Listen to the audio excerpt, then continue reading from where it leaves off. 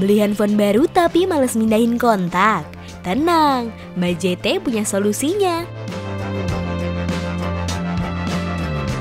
Halo gengs, balik lagi nih bareng Mbak JT di sini. Video kali ini Mbak JT akan kasih tips and trick buat kalian tentang gimana cara cepat mindahin kontak ke HP baru. Penasaran? Eits, tapi tunggu dulu. Buat kalian yang belum subscribe channel Jalan Tikus, yuk buruan di subscribe. Tanpa perlu basa-basi, yuk langsung ke inti videonya ya.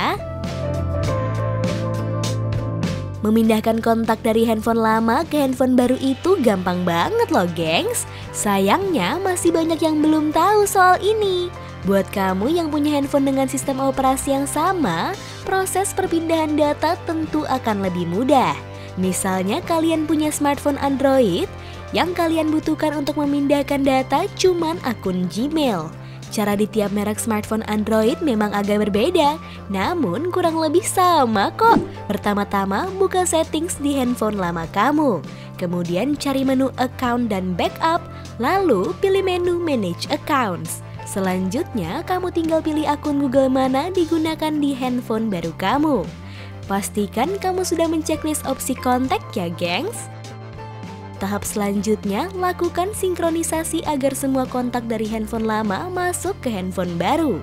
Kalau semua tahap sudah selesai, kalian tinggal login akun Gmail ke handphone baru dan boom, semua kontak sudah berpindah dalam sekejap. Oh iya, kalian juga perlu memastikan kalau penyimpanan kontak sudah tersimpan secara otomatis di akun Gmail. Kalau belum, kalian boleh melakukan cara ini, gengs. Pertama, buka halaman kontak di handphone kamu, klik settings, pilih opsi manage accounts, kemudian pilih import atau export contacts, setelahnya pilih import from SIM card, dan tentukan akun Google yang ingin kamu gunakan, gengs. Gimana? Gampang kan?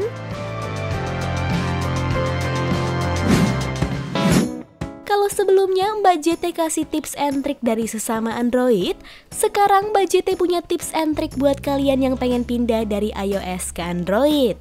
Cara kedua ini emang lebih rumit, gengs. Tapi tenang aja, kalau kalian ikuti perlahan pasti bisa kok. Pertama, login iCloud melalui aplikasi browser di komputer kalian, lalu kalian akan masuk ke halaman verifikasi. Kalian hanya perlu memasukkan kode verifikasi yang sudah dikirimkan oleh sistem, gengs. Langkah selanjutnya, kamu dapat memilih menu kontak. Pada tahap ini, pilih nomor kontak yang ingin dipindahkan ke HP Android kamu, lalu pilih export vCard.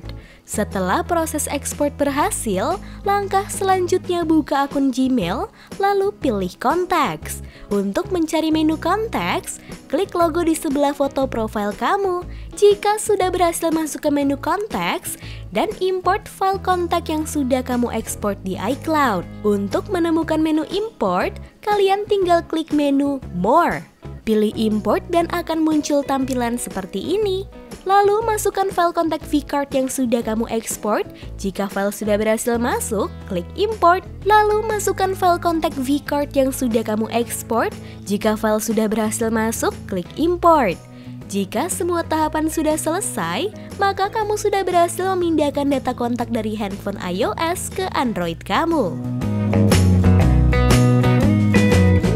Gimana gengs? Gampang kan? Video berikutnya kira-kira kalian butuh tips apa lagi nih dari Mbak JT?